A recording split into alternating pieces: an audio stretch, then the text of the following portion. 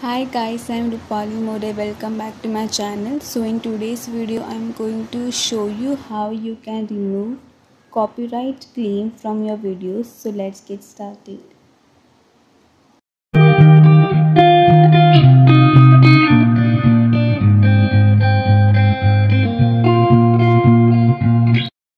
We have to click on this icon and go to your channel.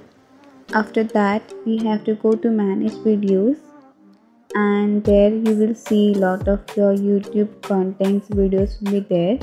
And on restrictions it will be none. So that means there is no copyright claim or copyright strike.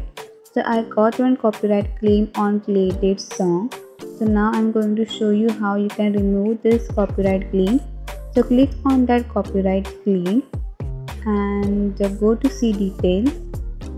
After that this window is gonna pop out and you will find this option a select action where you are going to select mute song. So i have used the whole playlist song that's why this white box is full from 0 to 3 minutes. So if you have choose only 1 minute or 2 minute song so that that much box is gonna show on this way uh, you know on your video so there are time details so you can start write this time and end time. And don't select this mute song only beta option. Only select this first option. And as i told you that if you have choose song in middle of your video you can type their timings and then click on continue.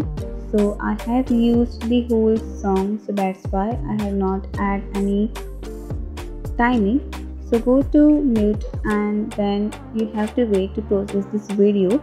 After some time we will see if it is removed or not. So yes we will just refresh the window and see this copyright claim is now gone. So this is how easy you can remove copyright claim on your videos.